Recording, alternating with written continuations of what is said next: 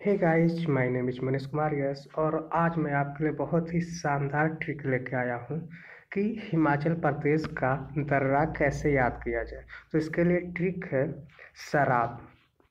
शराब में क्या है? सौ मिन सिपकिला रो रोहतांग पास और ब मीन बारालाचला पास दोस्तों, अगर आपको और भी ट्रिक चाहिए तो डिस्क्रिप्शन बॉक्स में मैंने लिंक दे रखी है। You can visit okay thank you